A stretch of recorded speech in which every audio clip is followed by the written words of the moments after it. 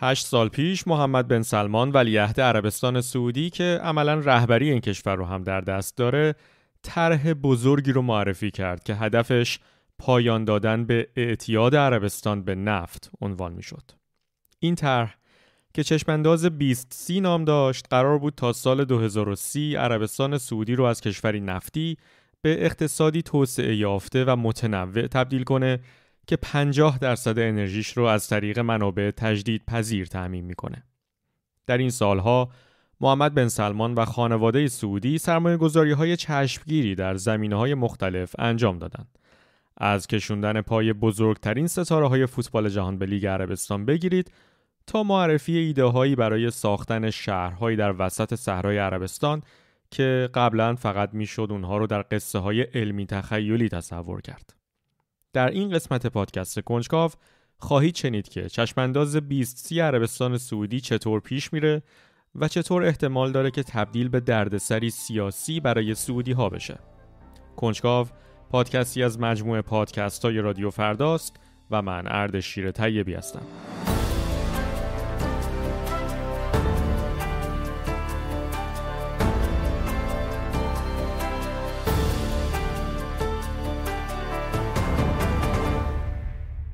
عربستان سعودی یکی از بزرگترین تولید کنندگان نفت در جهان و بزرگترین صادر کننده اونه و تعجبی نیست که این سوخت با ارزش تمام اقتصاد عربستان رو به زیر سلطه خودش درآورده. در واقع 90 درصد درآمد حاصل از صادرات عربستان و 80 درصد بودجه دولت این کشور و 40 درصد تولید ناخالص داخلی عربستان رو نفت شکل میده. و البته بخش بزرگی از 60 درصد باقی مانده تولید ناخالص داخلی عربستان هم باز به نوعی به نفت و هزینه های نفتی عربستان وابسته است. به عنوان مثال دو سوم سعودی های شاغل در استخدام دولت عربستان هستند و سایر صنایع عربستان با نفتی که بسیار ارزانتر از قیمت بازار در اختیارشون قرار می‌گیره پیش میرن و برق هم در این کشور فوق العاده از سایر نقاط جهان ارزون تره. مثلا برای مقایسه تا سال 2016 هزینه تولید برق در عربستان یه چیزی حدود 2.5 سنت در هر کیلووات ساعت بود. این در حالیه که همین هزینه در ایالات متحده حدود 13 سنت و در آلمان بالای 30 سنت در هر کیلووات ساعته. اینجوریه که صنایع غیر نفتی عربستان چهل درصد از کل انرژی این کشور رو مصرف می‌کنن اما تنها حدود 15 درصد از تولید ناخالص داخلی رو میشه بهشون نسبت داد. در واقع عربستان پایین ترین نسبت تولید ناخالص داخلی به مصرف انرژی رو در میان کشورهای گروه 20 داره. بنابراین تلاش ولیعهد جوان عربستان محمد بن سلمان برای کاهش وابستگی اقتصاد این کشور به نفت بسیار هوشمندانه است و دلایل اقتصادی و سیاسی متعددی داره. از نظر سیاسی واضحه که نفت به تنهایی نمی‌تونه شغلهای کافی برای مشغول کردن جمعیت رو به رشد سعودی رو ایجاد کنه و منجر به نابرابری وسیعی بین بخشهای نفتی و غیر نفتی این کشور شده.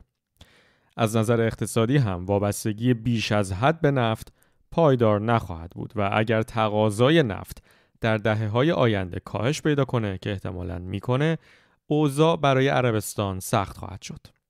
نوسانات قیمت نفت در همین سالهای اخیر هم بارها کشورهای نفتی از جمله عربستان و ایران رو به درد سر انداخته. در فاصله سالهای 2007 و 2011 قیمت نفت در جهان دو برابر شد و بعد نصف شد و بعد دوباره دو برابر شد و این وضعیت هر گونه برنامه ریزی اقتصادی اقلانی رو عملا غیر ممکن کرده بود تا اینکه باز قیمت ها در سال 2014 به سطح بی سابقه ای کاهش پیدا کرد. عربستان سعودی البته با موفقیت بیشتری نسبت به سایر کشورهای نفتی با این بحران ها مواجه شده. این کشور موفق شده تا این نوسانات رو از طریق اوپک کنترل کنه و اوپک با رهبری عربستان در سال 2016 به اوپک پلاس هم تبدیل شد و کشورهای بیشتری رو در خودش جای داد. با این حال افزایش تولید کشورهای خارج از اوپک از جمله کانادا، برزیل و گویانا و به ویژه رونق نفت شیل در ایالات متحده آمریکا این تلاش های عربستان رو به چالش کشیده و نه فقط کاهش قیمتی اساسی رو در بازار نفت ایجاد کردند بلکه توانایی اوپک پلاس رو هم در کنترل بازار تحت تأثیر قرار دادند. اخیرا سعودی تلاش گسترده‌ای برای کاهش تولید و بالاتر بردن قیمت‌ها در چارچوب اوپک کرده اما این تلاش عربستان چندان با استقبال از سوی سایر اعضای اوپک مواجه نشده. بسیاری اعضا با تصمیم عربستان برای کاهش تولید مخالفت کردند و یا تصمیم گرفتن که مثل آنگولا اوپک رو ترک کنند. آنگولا سومین کشوریه که در پنج سال گذشته اوپک رو ترک کرده.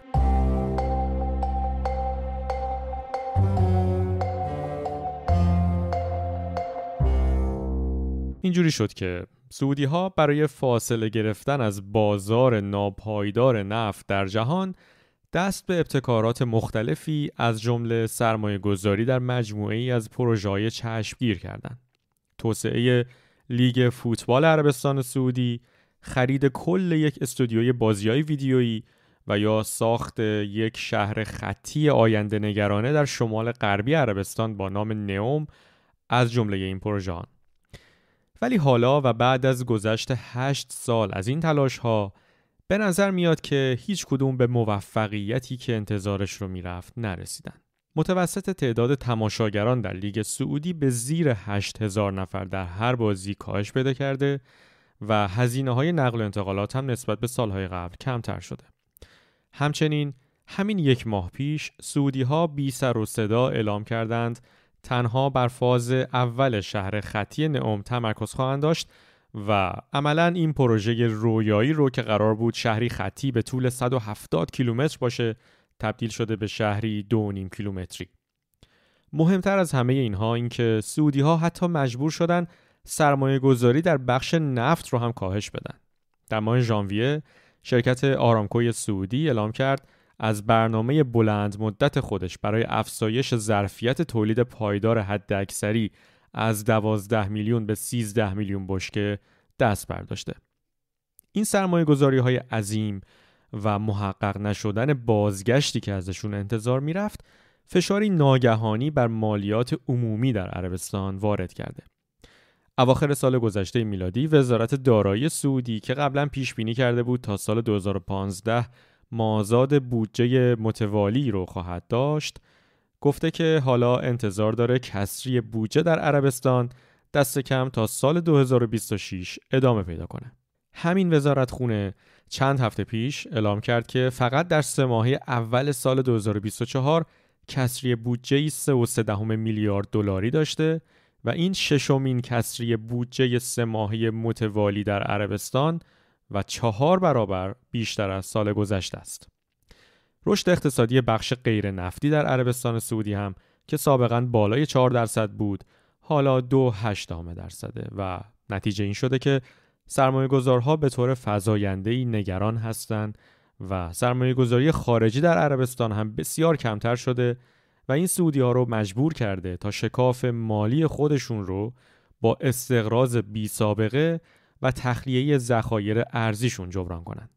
افزایش هزینه‌های دولتی و کاهش تولید نفت به طور خلاصه برای عربستان معنیش اینه که قیمت سر به سر نفت عربستان سعودی به 108 دلار در هر بشکه رسیده که طبق تحلیل بلومبرگ بالاترین سطح از سال 2014 و بالاتر از اکثر کشورهای عضو اوپک.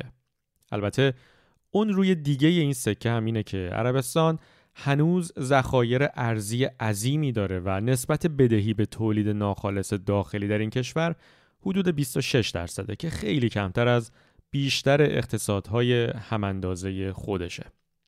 همچنین این رو هم باید گفت که بخشی از این خسارت آمدانه و شاید در راستای پروژه بن سلمان باشه.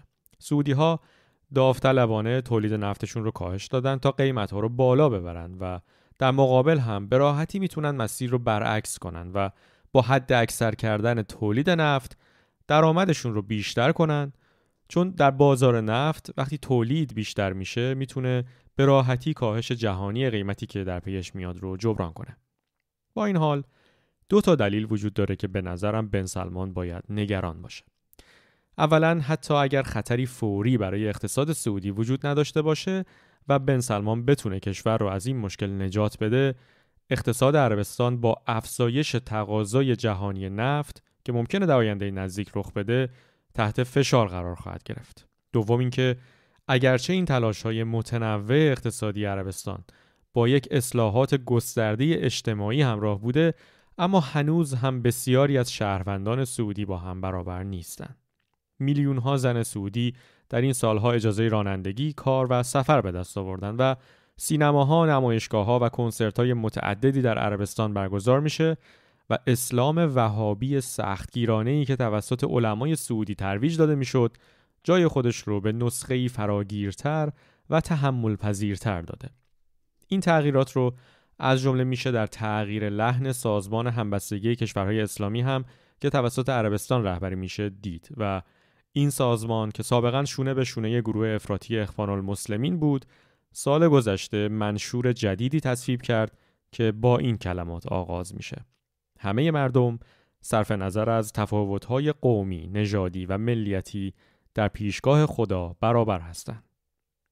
محمد بن سلمان تا به حال با موفقیت مخالفان محافظ کار این دست اصلاحات رو سرکوب کرده. اما او باید نگران باشه که اگر برنامه های اقتصادیش به نتایج مطلوب نرسه که فعلا انگار داره خوب پیش نمیره محبوبیتش نزد نخبگان عربستان کاهش پیدا خواهد کرد و در پی اون احتمالا یک درگیری بالقوه و بی ثبات کننده با علمای وهابی در انتظارش خواهد بود که شاید سرنوشت بن سلمان و خاور میانه رو تغییر بده.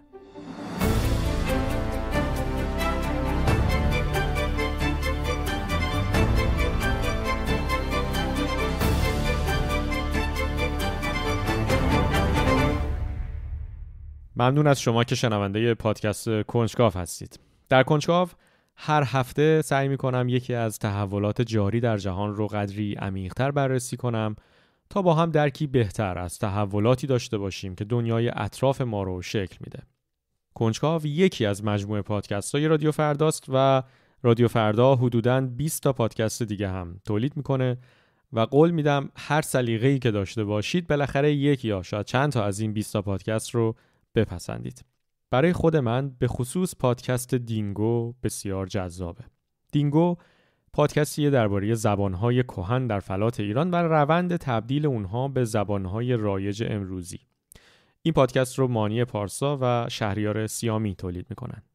دینگو، کنجکاو و سایر پادکست های رادیو فردا رو می‌تونید در صفحه پادکست ها در وبسایت رادیوفردا.com مشاهده کنید و بعد اونها رو که بیشتر علاقه دارید در اپلیکیشن های پادگیر جستجو کنید و مشترکشون بشید.